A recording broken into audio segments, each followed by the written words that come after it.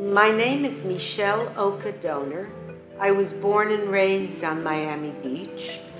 I was so thrilled when Rene Gonzalez contacted me to be part of his building, especially when I heard it was on Meridian Avenue.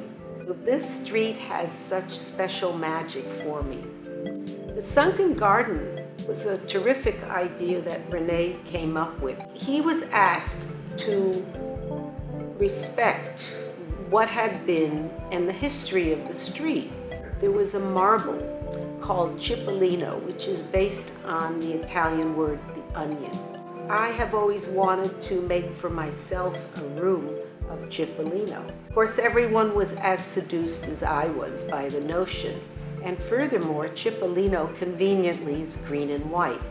And what is Meridian Avenue but a canopy of green trees?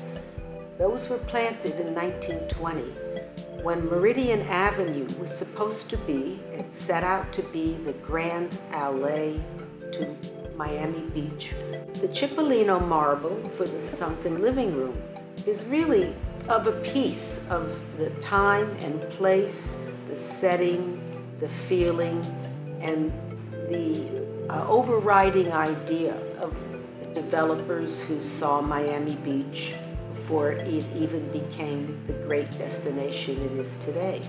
Bronze has always been a companion piece to marble.